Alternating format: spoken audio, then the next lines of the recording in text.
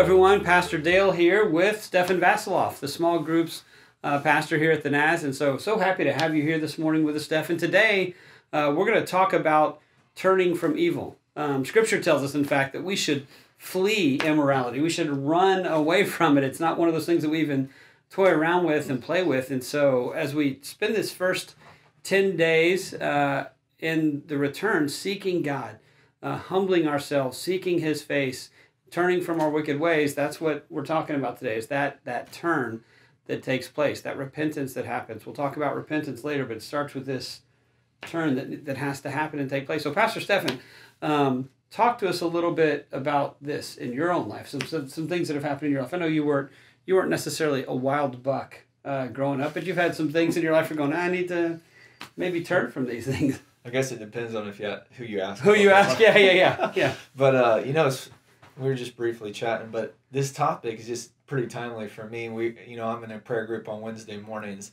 and um, it's not many times that you feel like, hey, I'm just going to confess something in yeah. front of everybody. But one of the guys was praying. I just sensed like God speak to me and say like, you need to just be honest about yourself in front of these men. And we're on a Zoom call and I'm fighting that. And so I just said, guys, I know this is going to be weird, but I just feel like I need to deal with some of the things I'm wrestling with personally. Just be mm-hmm. honest about that and call it out. You know, yeah. make war on it in yeah. a way. And so I was like, I don't know if this is for you guys or just for me, but I'm just gonna confess what I'm struggling with and be pointed about it. I'm not right. gonna try and just hide that, yeah, right. and be obscure about it. But no, this is what it is, and Lord, help me deal with it. And so I think a big part for me lately, even personally, maybe some people can relate to that, is just being straight up about it. Yeah. You know, don't be obscure. Deal with yep. it. It's this and just call it out and ask God to help you deal with that and be honest with one another.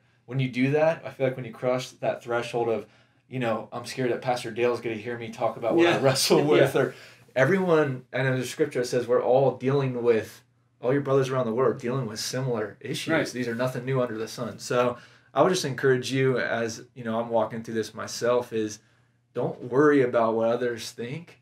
You know, if we confess our sin He's faithful and just to forgive yeah. us and cleanse us of unrighteousness. Yeah, so, that First John one nine. I was getting ready to. Okay. that same verse was running through my head you as you were talking. That sense of, man, I got I've got to confess it. If I confess it, God can forgive it. If I keep it in and I'm not confessing it, it's just it continues to eat me up. So there's the that step of confessing, uh, which is the first step of really then turning. There's the the confessing of our sins, the saying, I'm not going to do this anymore, but I actually have to make the the effort to turn and flee from immorality. Um, I remember I was at a I was at a um, church one day in Alpharetta, Georgia, uh, Andy Stanley's church, and he had a mm-hmm. guy of all days. I, I was at a youth workers conference, but I thought I want to go see this church, and so while I'm there, the whole day he was interviewing this guy who'd been addicted to pornography. And so the guy was there, and his ex wife, they'd actually gotten divorced because he had fallen into affairs, a number of other things. Well, he'd come back to Christ his wife, ex-wife, actually worked for the company that he worked with, where they would go tell people about the dangers of pornography and how it can tear your marriage apart. So it was really a weird, weird day. But as as uh, they went through, Andy Stanley would ask him the question, you know, at this point in your life, in this point in your story, how addicted would you say you were to pornography? And the guy said, you know, probably on a scale of one to ten, I would say I was at a four, but I was probably really at a seven. And then later on the story, and he would say, "Well, how addicted would you say here?" And he'd say, "Well, probably, I would still said I was at a four, but I was at like an eight. You know, he said because it. So anyway, what was crazy was at the very end, uh, Andy Stanley looked at the guy and said, um, "Is there anything you'd like to talk to everybody about?" And the guy said, "Yeah, you kept asking me how addicted I was at certain points," and he said, um, "I don't know that that's the right question." He said because a lot of men can just justify where they are and think that they're in one spot. And he said, So I don't ask people how addicted they are. He said, I ask them, uh, Do you feel like you're becoming more addicted or standing still? Or do you feel like you're moving away from the addiction? He said, Because if you feel like you're standing still, he said, I would have told you the whole time. I was standing still. I wasn't moving at all. But looking back, I was becoming more and more and more addicted. And uh, Andy Stanley got up and quoted the scripture that said, Flee immorality. Yeah. The guy said, if you if you think you're standing still, you're not. You're yeah. becoming more. You have to run from it. You have to turn from it. Absolutely. Now, what would you say to that? Yeah. As you, as you work with people. Yeah, I think there's this. Uh, the passage of scripture that comes to mind is uh, First Peter. It says, you know, brothers and sisters, I urge you to stay away from these sinful desires that wage war. Yeah. On your soul. Yeah. And so the language we're using can seem like you know, flee or yeah. wage war. It's like, man, what are you guys talking about here? Like putting on a battle fight, and it's yeah. like, well, that's the mind that we have to approach this with. And sometimes we're just toying with it. And even personally, you know, I, I can do that. I can yeah. dwell on a thought, but I just my experience in my life and with others is there's not that aggressive war like cry of like, no, I'm not gonna let this come in and right. impose its will on me because the spirit has an agenda for me too. Correct. Um, and so I, I would say that is that that's the mind I think we have to have because the truth is those desires are trying to wage war on us. And so right. either we get on the offensive and get aggressive and reject that stuff with yep. tenacity or we be passive and we kind of get swallowed up by it if we let it come in. Right. So there's that opportunity we have when we first begin to see it. Do we do we justify it? Do we let it hang mm-hmm. around? Do we let it continue to eat away at our moral compass, as you will, you know, or, or begin to throw that off? And the, the more that happens, uh, it's kind of like that people talk about the frog in the kettle. We just slowly change, slowly change, rather than, again, turning, uh,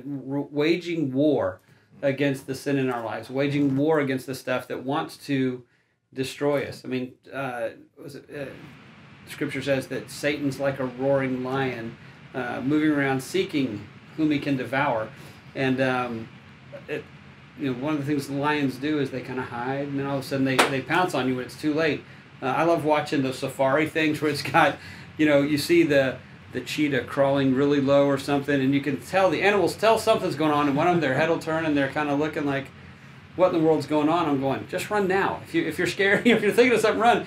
A lot of times they don't. Just look around, and start eating some more, and doing whatever. And the next thing you know, man, they're in an all-out fight for their life. And he's saying, you know, fight now. Yeah. You know, when you know these things are not in your life that shouldn't be there, or things are in your life that shouldn't be. How do we fight? Mm-hmm. Um, how do we run? So I would ask you that question: How do we uh, wage the war?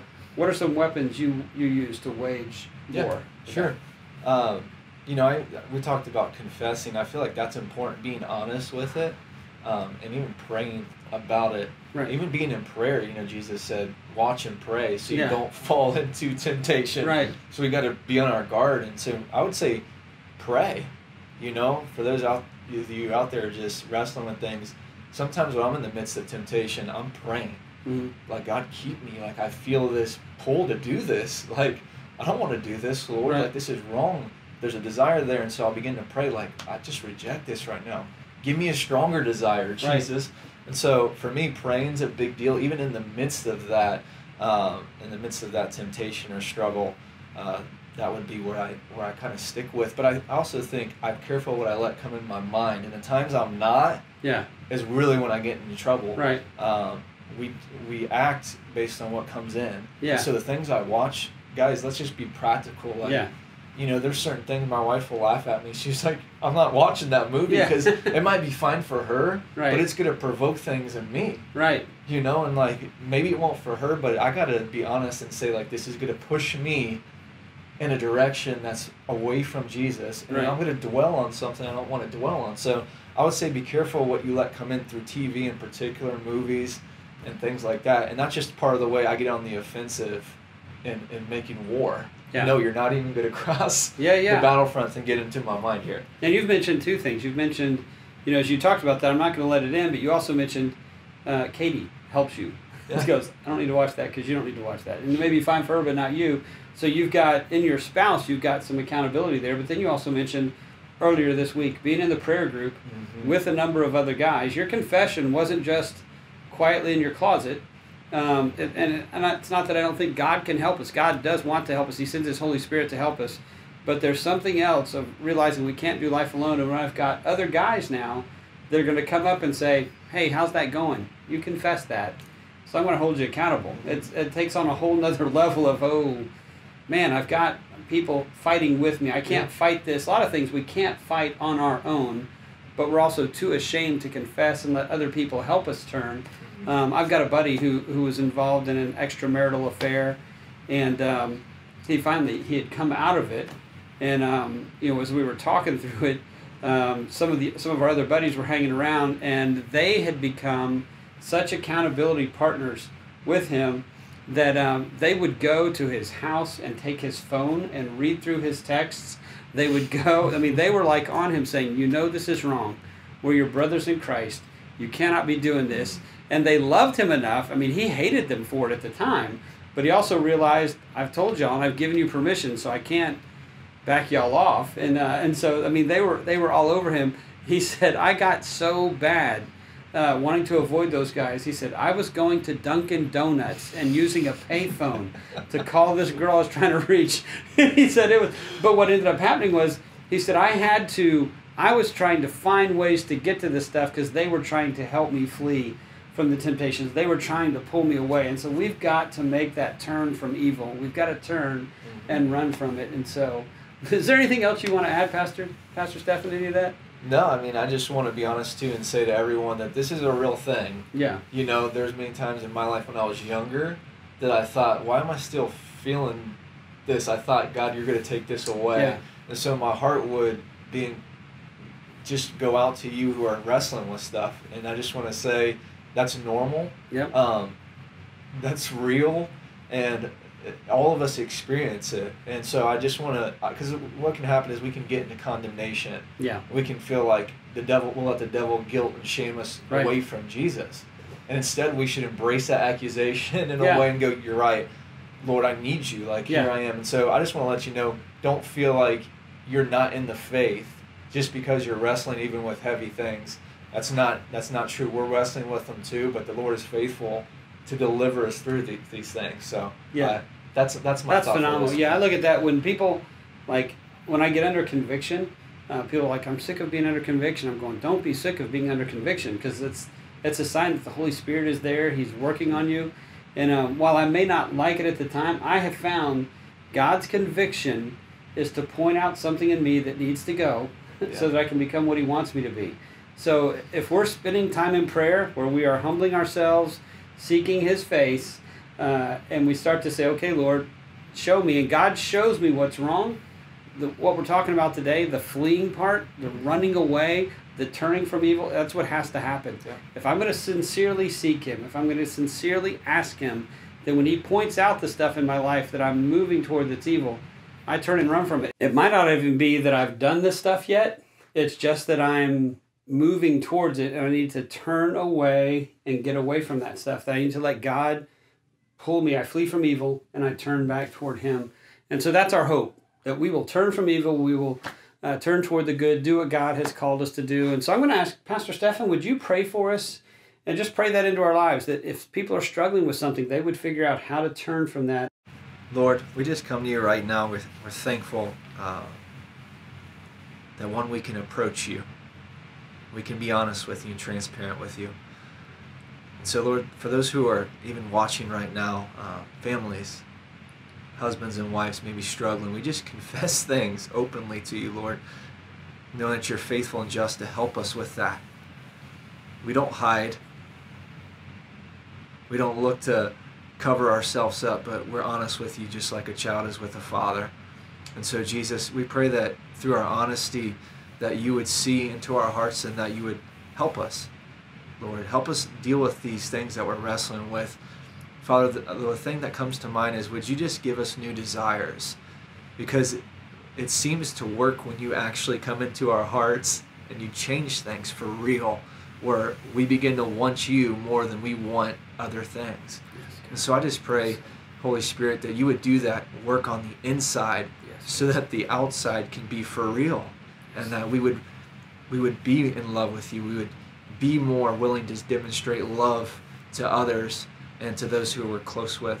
So, Father, I know that you're working to draw us closer to you, and part of that is sometimes the painful process of turning away from things we're used to. Um, but we willingly come and lay those things down right now and reject them so that we might know you more. Thank you, Jesus, for this time and have our hearts, we pray. Amen. Amen. Thank you, Pastor Steph, and thank you all for joining with us as well. Um, but you know, let's thank Pastor Steph and give him some love down there in the Facebook chat room. Yeah, give him a heart emoji. Uh, those who are watching online, uh, it's been great to have you here. If you're looking for ways to help you further your prayer, uh, you can go out to the naz.church slash prayer, and there's a link there that you can click that will take you to the return. There at the return, if you look at the downloadable guides, there's a prayer guide that has verses of scripture on the very topic that we've talked about today, turning from evil. And if you don't know how to pray, you can just simply pray those scriptures. Uh, pray those back to God. That's a powerful thing to pray God's word to Him. And if you're looking for ways maybe to start fasting, to turning from some things of the world so you can focus on God a little more, you've never done that before, uh, there are helpful guides for you there as well. Uh, that'll just say helpful guides for prayer and fasting, and you can read through those. And hopefully, they will help you on your continued journey away from evil and toward God. Uh, so until we see you again next time, God bless you, Naz family. We love you.